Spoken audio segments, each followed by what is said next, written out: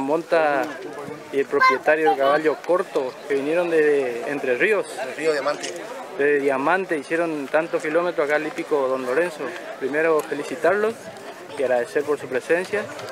Y vi que estaban confiados por su caballo, ¿es así? Sí, sí, veníamos confiados porque el caballo estaba bien.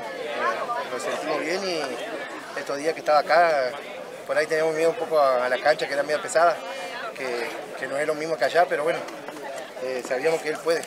¿Cuánto tiempo estuvieron acá?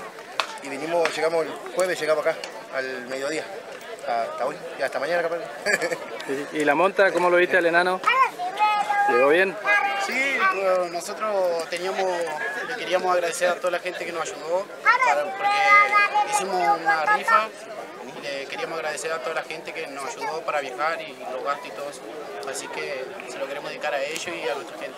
¿Algún saludo particular? Sí, sí, a toda mi familia, a la familia de él, a él que, que, siempre está.